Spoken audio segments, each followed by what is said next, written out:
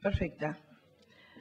Té la paraula ara la senyora, diput... Ai, la senyora Ada Colau per respondre a totes i cadascuna, si pot. Li deixo obert, li deixo obert, eh, si li sembla anirem fins als 18-20 minuts i l'aviso. D'acord? Endavant. Gràcies per la flexibilitat amb el temps. Eh, és que han sortit tantes coses que això serien diverses compareixences més, més el que ens havia quedat pendent de l'anterior. Eh, jo us convido en tot cas a, tenir una comunicació fluida fora d'aquestes parets, que seria la manera més eficaç de fer seguiment als temes. A la, a la intervenció de Gemma Calvet, d'Esquerra Republicana, no comparteixo utilitzar la paraula tsunami. En efecte, parlar de tsunami, ho hem dit en altres ocasions, és parlar de fenòmens naturals que escapen al control humà. I nosaltres considerem que aquí no parlem d'un fenomen natural que escapa al control humà, tot el contrari. Parlem, com he dit abans, d'una estafa organitzada amb responsables concrets, molt humans, del sector financer, però també del sector polític, que podrien haver actuat d'una altra manera que de manera reiterada han ficat les bases eh, en coneixement de causa. O sigui, les entitats financeres eren expertes en el mercat hipotecari i financer, tenen exèrcits d'economi- economistes i advocats, les administracions públiques el mateix. De fet, recordem que el 2006 va haver-hi una forta mobilització social a tot l'Estat, igual que la plataforma Afectats per la Hipoteca. De fet, és hereva la plataforma d'aquella mobilització ciutadana on el 2006, en el moment àlgid de la bombolla, a diferència del que creu el representant del Partit Popular, algunes portem molts anys denunciant eh, les responsabilitats de la bombolla immobiliària, governi qui governi, doncs eh, ja en aquell moment va ser la ciutadania que, a diferència de cap administració pública, va sortir al carrer per dir aquí hi ha una bombolla immobiliària, encara que les administracions de diferents colors ho negaven rotundament i de manera explícita. Si la ciutadania, sense gairebé recursos, era capaç de veure que hi havia una bombolla que s'estava enganyant la població i que allò esclataria, com no ho havien de veure les administracions públiques i les entitats financeres. No sé quina versió seria més, més tranquil·litzadora, si l'estafa organitzada o la incompetència generalitzada. En qualsevol dels dos casos no, no és acceptable no? per part d'una democràcia saludable. Per això deia simplement que no ens agrada parlar de tsunamis o de terratrèmols perquè això dona aquesta idea de- d'un fenomen que escapa al nostre control i no és el cas. Si es produeixen bones pràctiques, que ha sigut una pregunta que ha sortit en altres intervencions, eh, efectivament la banca ètica és una de les opcions més, eh, més necessàries ara mateix, no? que s'anomena banca ètica, encara que a mi personalment, més que parlar de banca ètica, vull parlar de banca democràtica. És a dir, banca ètica és la solució de mínims que tenim ara mateix i hi ha diverses entitats, no? doncs, eh, FIARE, COP57, Triodos, eh, que segur que sense ser perfectes, perquè la perfecció total no existeix, però que sí que tenen clar la seva funció social eh, i que enfront la lògica de l'especulació volen promoure l'economia social i responsable, cooperativa, etc. Eh, aleshores, evidentment, aquesta és l'única alternativa decent que tenim ara, però en general el que no crec que ens puguem resignar és a que no hi hagi un control democràtic del sistema financer. O sigui, hem de parlar de banca democràtica, tant si és banca pública, com si és banca privada, com si és banca ètica perquè l'ètica no deixa de ser un comportament voluntari i, i en canvi si aquí estem parlant de que els diners són els que condicionen tota política pública no pot ser que el finançament escapi al control democràtic que és el que ara mateix està passant al nostre país i no només al nostre país, evidentment però al nostre país de manera especialment greu Quines veus a Europa? Si hi ha solucions sobre la taula? A veure, respecte a Europa, i això també podria enllaçar amb la pregunta del representant del Partit Popular, que em deia si hi havia un país perfecte. A veure, el, el gènere humà és imperfecte, ningú està dient que hi hagi un lloc perfecte, un país, una ciutat. El que sí tenim clar és que l'estat espanyol és dels pitjors amb molta diferència de tot el món. Podríem dir-ho en negatiu en lloc d'en positiu. Eh, no hi ha llocs perfectes, però a cap lloc del món que coneguem està passant la barbaritat que està passant aquí des de fa tants anys.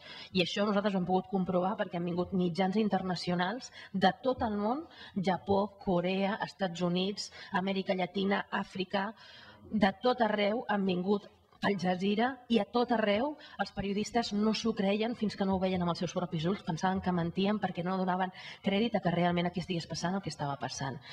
O sigui que realment, o sigui, n'hi ha països tan neoliberals on les entitats financeres tenen un pes tan important com pot ser els Estats Units o altres països europeus, passa la barbaritat que està passant aquí. Aleshores, això sí que ho podem dir amb contundència i també quan es preguntava eh, quines solucions des d'Europa, doncs també depèn de quina Europa perquè hi ha l'Europa dels ciutadans, que està sent molt poc escoltada, hi ha l'Europa del Parlament, que és l'única institució pseudodemocràtica en la mesura que es vota cada quatre anys, però que en realitat és la que menys poder té, o sigui, precisament l'única que es vota és la que menys poder té, i després està la Troika, que en realitat és còmplice directa de les entitats financeres, del rescat bancari i de les retallades socials. Aleshores, depèn de per quina Europa m'estigui preguntant. Nosaltres, com a plataforma, hem tingut contacte amb els, amb els diferents nivells d'Europa. Hem tingut, per una banda, uns tribunals que ens han donat la raó precisament per l'anomalia tan extraordinària que s'està produint aquí. No? Per exemple, la sentència que es parlava abans de Luxemburg, el que ha dit és que a l'estat espanyol des de fa almenys 20 anys s'està incomplint sistemàticament la normativa comunitària i aquí no passa res. La llei del Partit Popular no recull aquesta sentència, intenta limitar-la i aquí no passa res. O sigui que, insisteixo, la, la idea sobretot és que som una excepció, som tan excepció que fins i tot països molt, molt liberals i on les entitats financeres tenen una forta presència s'escandalitzen sobre el que està passant a l'estat espanyol. I aleshores eh, les solucions sobre la taula és que són de mínims i les venim plantejant des del primer dia. O sigui, a part de que es podria millorar el sistema financer de moltes maneres, s'hauria d'acabar amb moltes actituds abusives, males praxis, etc. però la dació en pagament, el lloguer social i la moratòria de desnonaments són temes de sentit comú que a més ja s'estan realitzant a tots els països del nostre voltant. O sigui, a França es fa una moratòria de desnonaments sis mesos l'any només per motius de fred. A França i Itàlia tenen una moratòria hipotecària i una moratòria de desnonaments des de fa anys. Eh, a tots els països d'Europa o hi ha dació en pagament o hi ha fórmules de segona oportunitat que permeten l'extinció del deute i tornar a començar. Als Estats Units existeix la dació en pagament. Vull dir, és que el que no existeix és el que està passant a l'estat espanyol de manera reiterada durant tots aquests anys. Eh, no em puc allargar, o sigui que segueixo. Podem fer jerarquia de responsabilitats, preguntava el Partit Socialista. Home, eh, si la jerarquia de responsabilitats vol dir que només paguin uns i no paguin els altres, no. O sigui, tots els responsables haurien d'afrontar les seves responsabilitats. És evident que en la comercialització de les hipoteques amb clàusules abusives i amb engany van ser les entitats financeres, molt sovint amb una xarxa de còmplices directes eh, que directament participaven del mateix negoci, com són immobiliàries, taxadores, participades per les pròpies entitats financeres, notaris amb els que treballaven habitualment aquestes entitats. Eh, i aquest, tota aquesta xarxa xarxa, que efectivament és un nivell de responsabilitat que també s'hauria d'investigar, però insistim també en la responsabilitat de les administracions públiques, perquè les entitats financeres no deixen de ser a dia d'avui empreses eh, privades, perquè no tenim banca pública, que busquen el màxim benefici per repartir-lo entre els seus accionistes. El que és insòlid és que les administracions públiques, que són qui en teoria ha de vetllar per l'interès general, hagin fet tot el contrari, hagin vetllat per l'interès particular d'aquestes entitats financeres en contra de l'interès general i vulnerant els drets fonamentals de la població. I llavors aquí sí que crec que la gravetat de les responsabilitats sobretot recauria en els gestors de les administracions públiques que efectivament han estat a diferents partits polítics. Eh, persisteixen les males praxis? Ja hem explicat que sí, ho tenim àmpliament documentat i els hi podem fer arribar.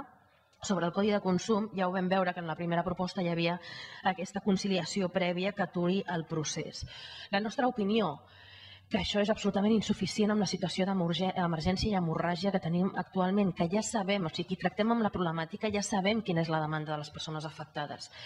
Eh, a diferència del senyor representant del Partit Popular, que es nota que no en té ni idea de la problemàtica hipotecària del que està passant la gent al carrer i dels milers de, i milers de persones afectades que hi ha, o sigui, això és el que més el desacredita, o sigui, que, que la gent noti que no en té ni idea del que està parlant, doncs, a diferència del que pensa, efectivament, la gent deixa de menjar abans de pagar la hipoteca. Tothom, o sigui, ningú vol perdre casa seva ni vol perdre la inversió realitzada. La dació en pagament no és cap regal, tot el contrari, és una pèrdua terrorífica que deixa la gent traumatitzada. La dació en pagament, sempre ho hem dit, és una mesura absolutament de mínims, absolutament de mínims. Aleshores, eh, per això, marejar la perdiu, conciliacions prèvies, però si hem vist els resultats de la mediació, Catalunya segueix encapçalant, portem anys de mediació i Catalunya encapçala el rànquing encara avui d'execucions hipotecàries i de desnonaments. Hi ha un problema d'insolvència insolvència generalitzada, d'ingressos mínims, de milers de llars que no arriben ni als 1.000 euros i en alguns casos ni als 400. Llavors, què vol que faci aquesta gent? Quina, volem marejar més la perdim? Volem allargar més l'agonia? Volem allargar més el patiment de les famílies? O sigui, si hi ha milers i milers de persones mobilitzades, 200 nuclis de la plataforma, reclamant massivament un milió i mig de signatures, segons totes les enquestes, el 80-90% de la població recolza una dació en pagament. Serà que hem de regular la dació en pagament i no marejar més la perdiu?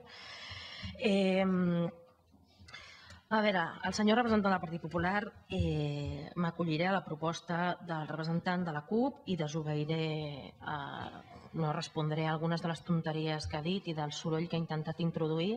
Hem vingut a parlar del que hem vingut a parlar. Um, sí li vull deixar caure una idea que abans vostè m'ha dit, eh, vull dir que vostè fa provocacions i li fa també alguna, um, vostè abans ha dit